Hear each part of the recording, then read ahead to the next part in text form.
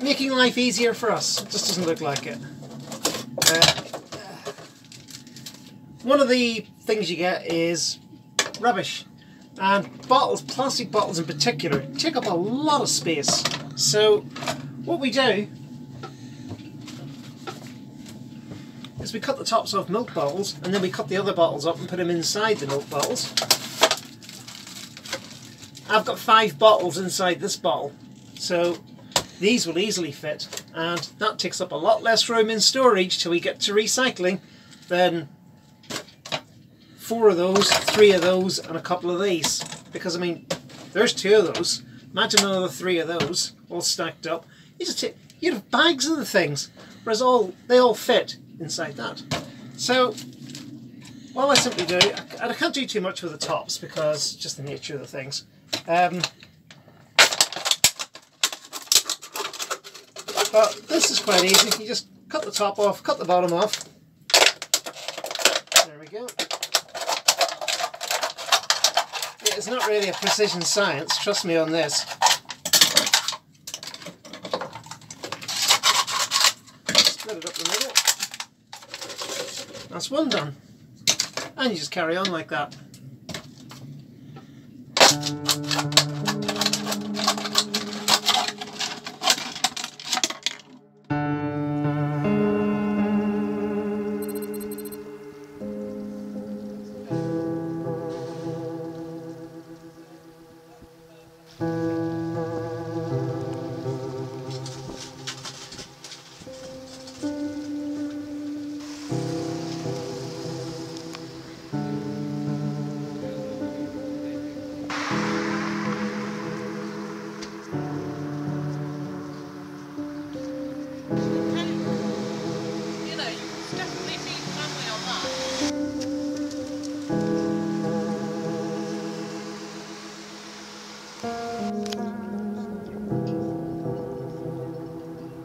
Okay, Gaynor, so where are we and what have we been doing?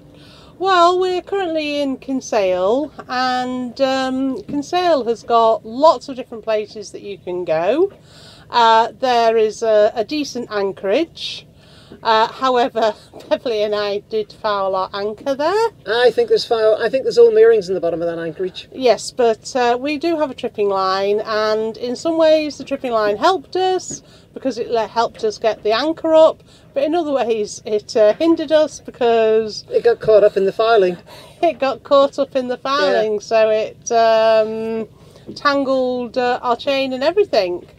Um, there's also moorings here, and we were very grateful for those because after the uh, anchor incident, we were on those.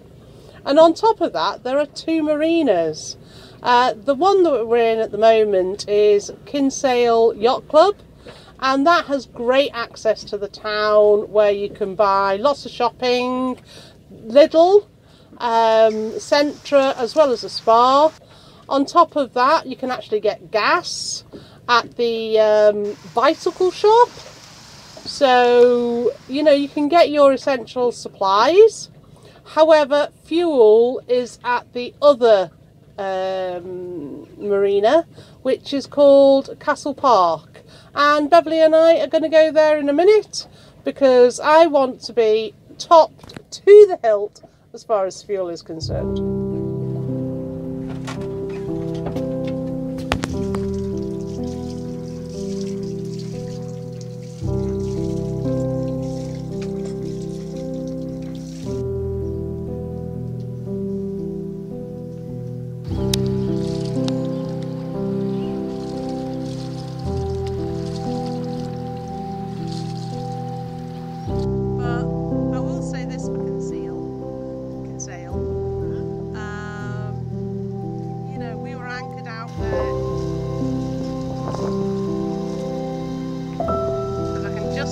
See everything.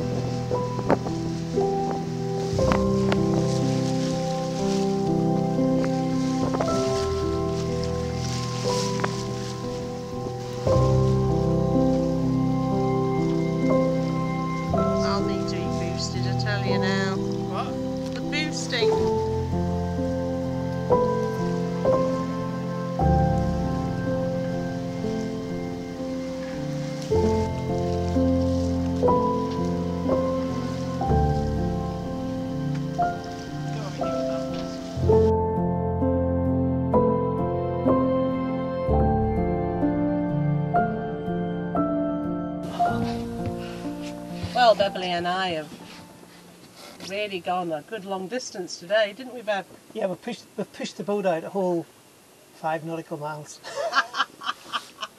and, and we've gone backwards. And we've gone backwards.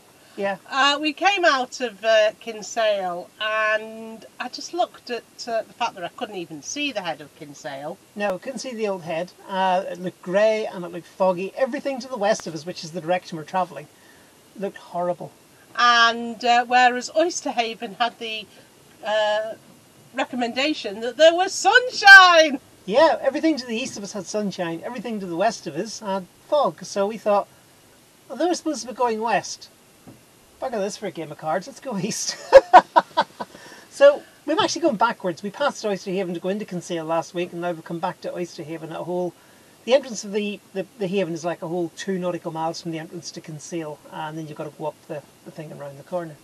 So we've only gone two miles backward, and we don't really count that. It just means that when we're ready to continue our journey west, we just go out the entrance there and just aim for the old head and go. Yeah.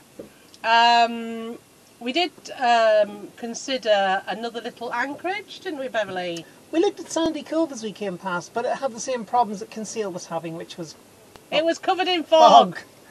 And now, to be fair to Kinsale, it was a great place, and we had, uh, you know, we got everything done that we wanted, and everyone we met was incredibly helpful to us, which is lovely. But the weather just didn't show it to its best. On the first day we were there, it looked absolutely lovely.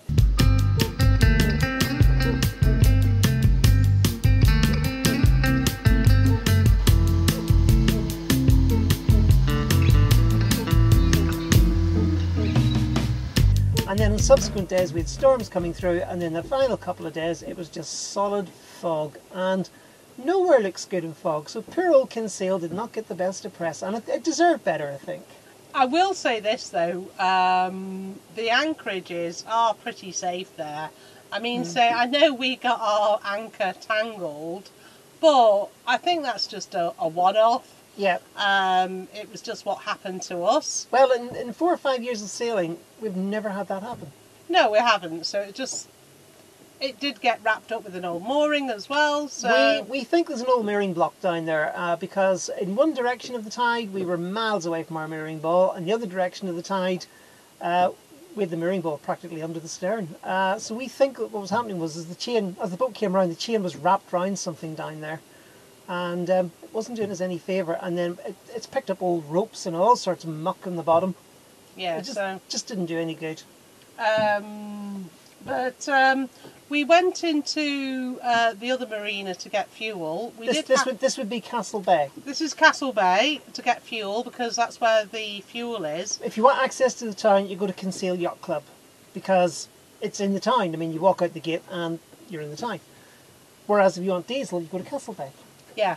Um, and um, they are doing um, a lot of uh, improvements. Um, he had um, decent uh, planking uh, that he was uh, going to be putting in. And he told us that um, he even filters the fuel as he's dispensing it and runs it through a diesel polisher as well. So he says his fuel is lovely and clean.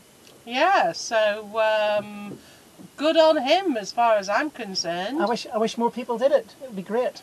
It So, would. It, would, really help um, us yachties. It would, and he was very, very helpful to us. He was there to take lines, and he told us where to go and what time to turn up at, and all the rest of it. It was, it was a very nice experience. I wish I had more time to spend at Castle Bay, actually. Yes, um, and even though uh, we had to raft, the um, line for the diesel was long enough that we could actually uh, just pump up. So Yeah, that's good. So, you know, we we had, we had a pleasant enough time in Kinsale. We got everything done that we wanted to do in Kinsale, except maybe take some decent footage for you. and and sunbathe a bit.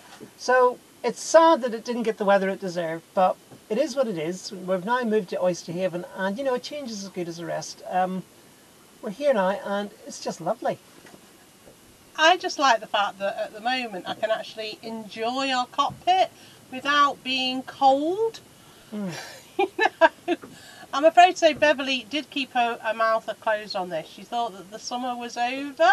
Well, it just felt like the summer was over. We had a huge blow that four seven or something like that. We were we were all right. We weren't bouncing around on the river or anything, but you know, Well, that's the good thing. It you was. don't want to you don't want a four seven blow in the middle of summer and then two days of solid fog when you go out and everything just clings with dampness and chill. I mean, it's no fun. Well, exactly, and that's why I wasn't out in the cockpit.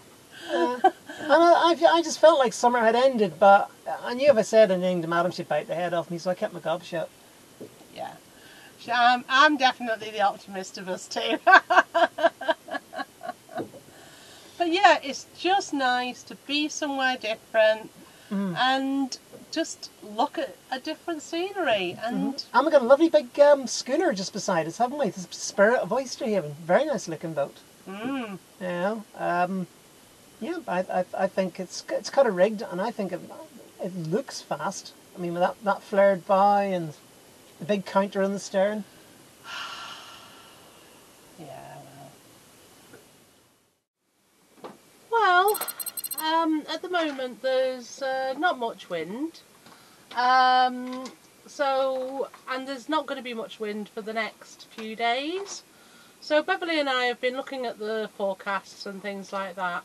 Um, now, obviously, I would prefer to sail, but um, with there being not much wind, I'm thinking I'd rather be uh, at Baltimore, and that's where it's one of the places that Beverly and I have been, you know, wanting to get to for a while.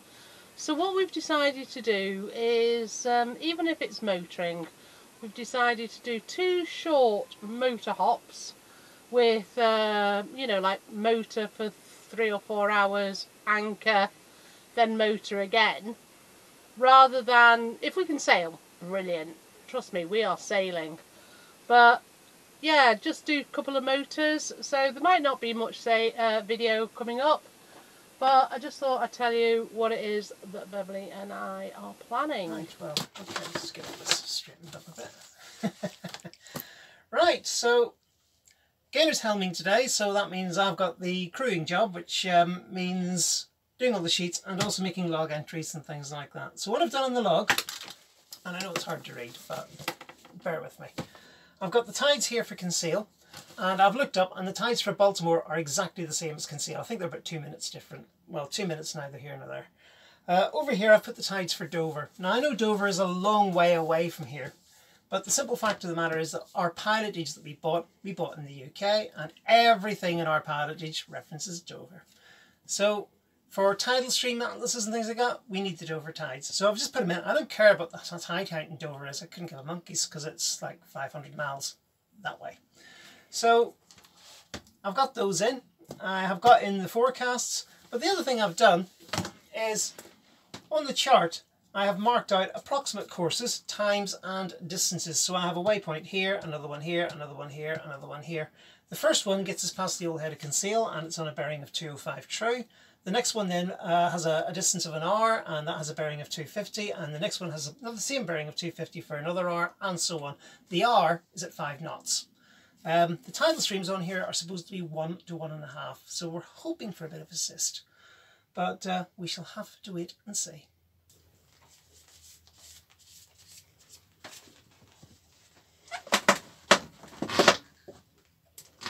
One of the things that uh, Beverly and I recommend is that you keep your engine bay clean um, because what that allows you to do is if you have a, an oil leak or something like that then you can soon spot it.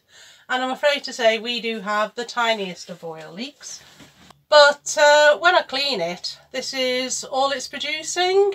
It looks more but it's a just a smear and um, so we've traced it back and it's in around the area of the Morse cable. Uh, probably a grommet has gone.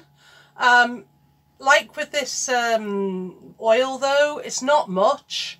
Um, we don't haven't even needed to top up the oil yet, but it is something we are going to have to address at the end of the season.